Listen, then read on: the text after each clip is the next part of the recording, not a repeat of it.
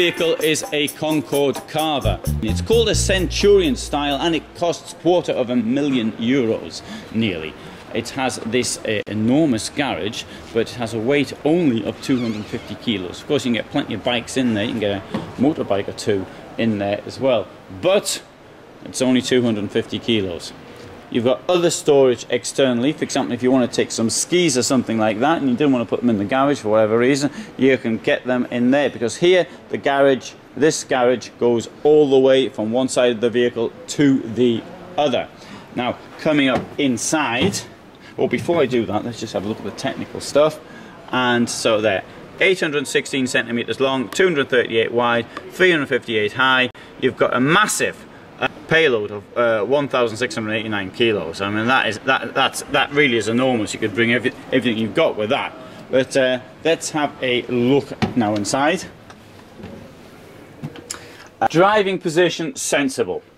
Uh, plenty of room above for yourself. It looks as though you're in a room rather than a car. Obviously, that's helped by the fact that they've taken the steering wheel off. But it's panoramic, it's great, and it hasn't got this what I think a pointless spare bed that many vehicles have. I'm walking down here to the front and there is still above my head plenty of clearance. In fact I can tell it's, a, a, well, it's almost two meters clearance.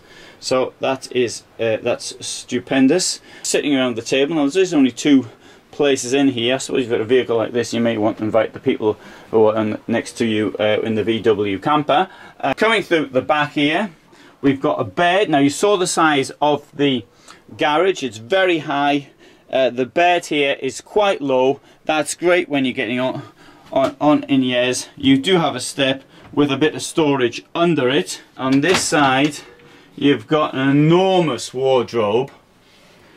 And you've got here this uh, shower. Now, there is a bit of a problem with the shower though. There's only one plug. Now, I know that that looks like a one you've got at home, but you can never really get yourself uh, totally flat and there's always be water sloshing around. Having said that, this is the shower unit by itself, so by the time you've uh, moved off, the water hopefully will have gone down the plug and it's plug hole, and it's not in the same place as the toilet which is a really important feature. Should you so desire, you can close this door here and you can nip out of the toilet and into the shower.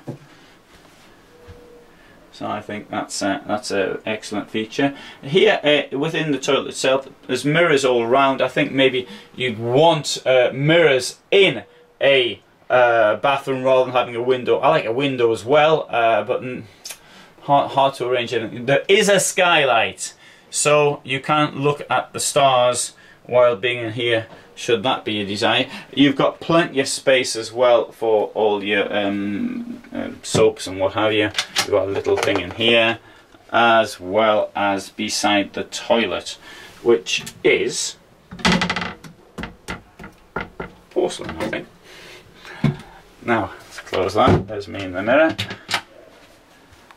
and well, um, in the bedroom you've also got you've got a, a, telly. Now it's one of these beds we can sort of join together or not. If you don't want to sleep with the person you're sleeping with, then you pull this thing here up and you. Uh, you've got, also you've got this um, spring system, uh, like Froli um, do, uh, which is uh, gives much more comfort than most motorhomes can offer. I'm thinking of getting something like that myself actually. I think it's important to keep your back uh, healthy. Now, obviously if you like the lighting or not, it's a matter of taste. I think there's plenty of light coming through here. Um, uh, it's LED and I think it's just the sort of thing that one would uh, need. Anyway, great lounge and uh, although it's quarter of a million, that's a lot of money.